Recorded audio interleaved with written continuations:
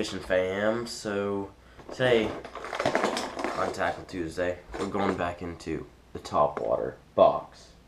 We're gonna be checking out some poppers and poppin' frogs today. Me just open this up.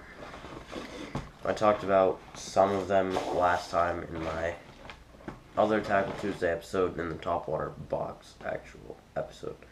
But we're gonna be doing just the regular poppers and popping frogs.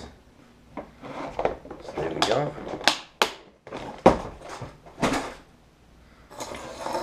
So I have five presentations for you guys to see. Um, so let's get let's get right into it. So first we're gonna go and we're gonna talk about these poppers. So poppers have been around for a while and they catch largemouth bass as well as smallmouth bass and other species of fish very well in the uh, summer and fall um, seasons. And that's because they create a nice presentation on top of the water as well as creating a nice sound underneath the water. So, first of all, I have this popper right here. It has some nice big trebles on there. You want sharp hooks for your top water baits because sometimes the fish will come up right behind it and they'll only get one hook. And if that hook is dull, then you won't hook those fish. So, that's the first thing. And when the fish jump up, as I said, if they only get one hook and it's nice and sharp, they're gonna get hooked if you set the hook. So that's the first one. It has a white belly. So I would use this when it's a little bit darker outside, not nighttime. It's a little bit darker outside. Somebody commented on my last video when to use black frogs. So I'll, I'll talk about that with this dark brown frog in a few moments. Um, but with popping frogs as well as poppers, I would use braid.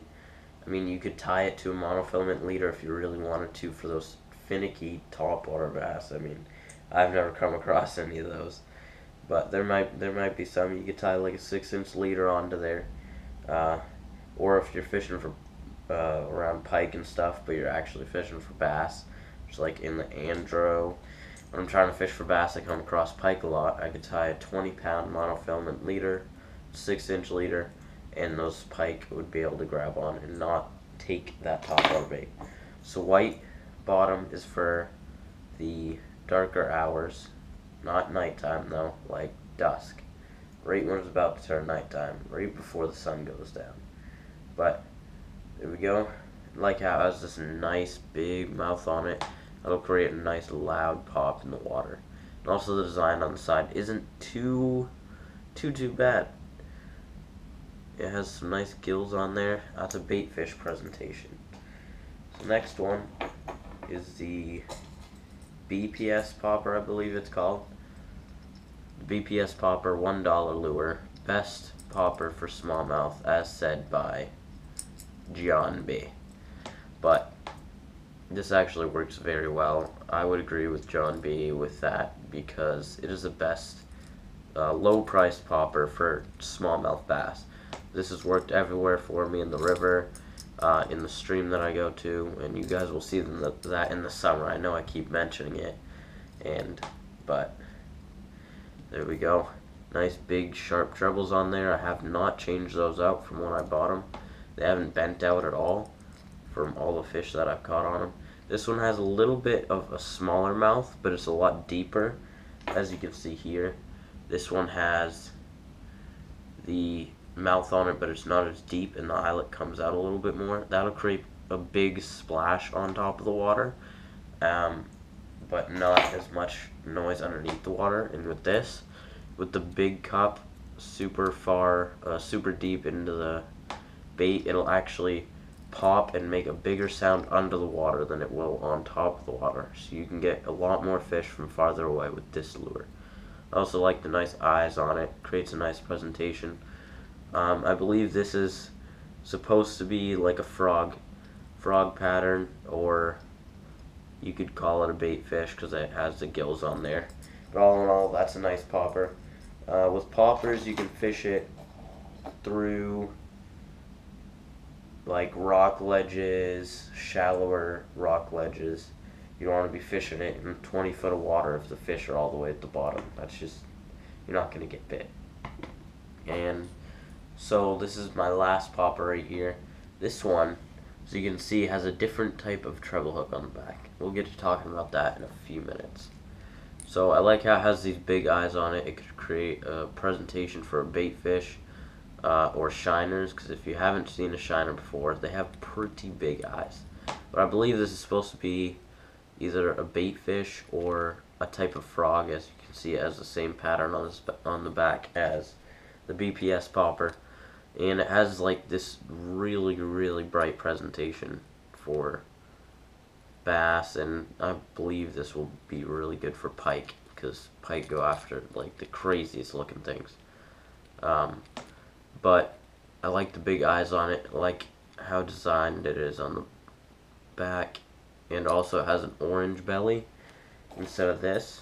So see how this popper's a lot bigger and a lot thicker than this one. So if you have this popper right here and you miss a smallmouth on this, um, or any type of bass on this, you could cast this out, kind of the same presentation, as a little bit shallower of a cup on it, but it's also a little bit smaller and it has this nice feathery presentation on the bottom. You might be able to get that fish to jump up again and hit it, if it missed that. And with this feather, shiny feather stuff on the back right here, that also creates a nice presentation. That kind of looks like a baitfish tail. Nice shiny baitfish tail for those bass to come after. But there we go. That's a nice popper right there. So I would fish these, as I said, around rock ledges, probably like 10 feet or 10 feet or shallower. And now we're going to go into these popping frogs. So popping frogs I really like to use. Um, sometimes I would use them in open water, but not usually. I just use these poppers in open water.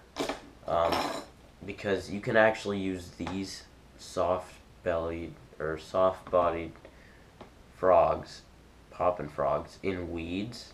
So you can pop this thing right through weeds and you can walk the dog right through all those weeds. And it will attract a lot more fish, especially since these treble hooks are all open. If you cast this into the weeds, most likely you're not getting the lure back. So with this white-bellied one, this one might be a little bit towards the open water side, uh, right along the edges of weeds. I might burn it through weeds and stuff like that because it has a nice bait fish color on the side. And that's going to look really nice to the bass. And it has this soft, soft cup on it with the nice eyelet right there. But the soft cup uh, kind of allows it to morph to how hard you're popping it. So if you pop it really hard, since it's nice and soft, it'll the cup will kind of go a little bit deeper and you'll get a nice pop out of it. And if you're popping it pretty soft, it'll still get that nice splash out of it. That's what I like about this lure. Also has these blue and purple, I would say, legs. Blue and purple legs. Blue, black, and purple legs. And that kind of just stands out from the body. And I cut the legs to the size of the body because that'll just get the best hone, hone in on your frog instead of the legs. So this, the darker frog, um, somebody asked me about this in the last video. This does not have hooks, by the way, so I need to buy a hook for this. But uh, the darker frogs, I would use uh, during the daylight hours. If it's blue skies, white clouds in the sky, I don't care. Black frog all the way, or darker bellied frog all the way. Because with that darker frog, you can be um, 10 feet down, the fish could be all the way at the bottom. You could be burning that thing, you could just be popping it along very slowly. And the fish look up, even on a white, cloudy day, and they can see that bait a lot better if you had like a white-bellied one like this. Because if you're a fish and you're looking up at a frog, even if it's moving, even if it's moving, okay, and you just look up and there's clouds above this frog, you're not going to be able to see it too, too well. You'll be able to see the movement on top of the water, But if that fish does come up, it's most likely either gonna miss it completely or maybe take like the legs or something. But using these darker frogs, you can use these at nighttime because with the moon, if you're pumping along and the moon's pretty much a perspective anywhere that you are like on the water, usually you can see the moon from someplace and those bass can see this frog like just just cruising along on top of the water with the moonlight and if you use a white frog that would work too at nighttime um, I just like the darker frogs because it kind of makes it a little bit more natural colored because if you're using a white frog at nighttime it just doesn't doesn't look as natural to those fish and I would also use this in the morning uh, the darker morning, like just after dawn. But there you go.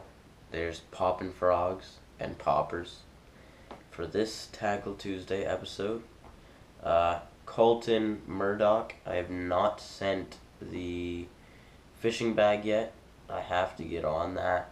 Uh, I've been so busy. I'm still sick, and I need to stop making excuses. I just gotta get to the post office and send that thing. Uh, sorry about that. I'll I, I have to send it as soon as I can. But anyways, hopefully I'll be able to go smelting sometime soon or ice fishing with Ricky. Uh, if you don't know him, he's one of my friends. Um, you can check previous videos. He's a pretty cool, pretty cool dude. But thanks for watching this episode. Sorry, it's a 12 minute video, but you know, I had to cover everything. Anyways, thanks for watching. Like, share, and subscribe. I'll catch you guys on the next episode.